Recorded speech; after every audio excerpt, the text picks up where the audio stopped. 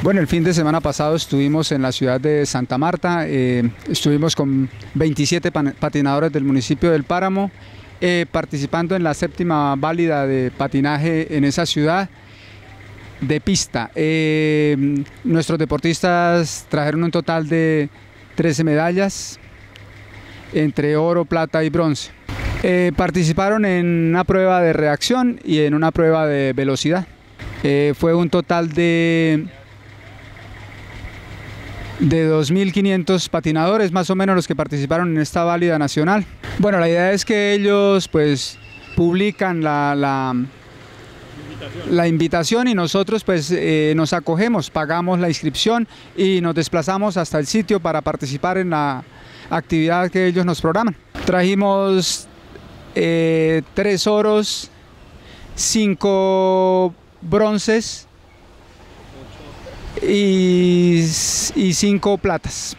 Bueno, nuestros deportistas eh, se han destacado. Nosotros realmente no tenemos un deportista que destaque eh, exactamente, pero como escuela de patinaje, pues en las participaciones que hemos hecho en los diferentes lugares donde hemos ido, pues nuestros deportistas se han destacado, siempre nos traen medallas y pues es una buena representación del municipio del Páramo y, pues nosotros lo utilizamos como padres de familia pues para el aprovechamiento del tiempo libre de estos muchachos. La parte económica, el profesor de patinaje lo contrata la administración municipal y nos patrocina con algunos recursos para los desplazamientos pero la verdad la mayor parte de, estos recursos pues son de actividades que los mismos padres de familia realizamos, eh, como gallinadas. Eh, hicimos este año el primer festival de patinaje de ruta en el municipio del Páramo, que tuvimos también patinadores de otros sitios acá en nuestro municipio y, y de ahí, de todas las actividades, rifas y todo esto que nosotros hacemos, pues obtenemos los recursos para poder realizar estos viajes.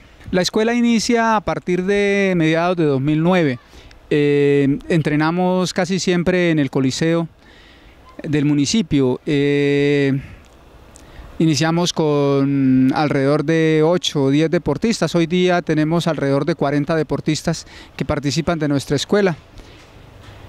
Eh, vamos al, al, jovito de vez en cuando a entrenar porque nosotros no tenemos aquí pues patinódromo y nos aprovechamos del municipio de San Gil para realizar estos entrenamientos más especializados porque nosotros competimos realmente en pista. De hecho, la ida al patinódromo pues los pone en el sitio donde deben competir. Eh, el, patinódromo tiene una reglamentación especial, pues que a todos, en todas partes donde vamos encontramos la misma estructura, con las mismas dimensiones y con la misma situación para que ellos puedan desarrollar la actividad. Claro que sí, don Marco Tulio, muchísimas gracias por la oportunidad de dar a conocer nuestra Escuela Estrella Dorada del municipio del Páramo.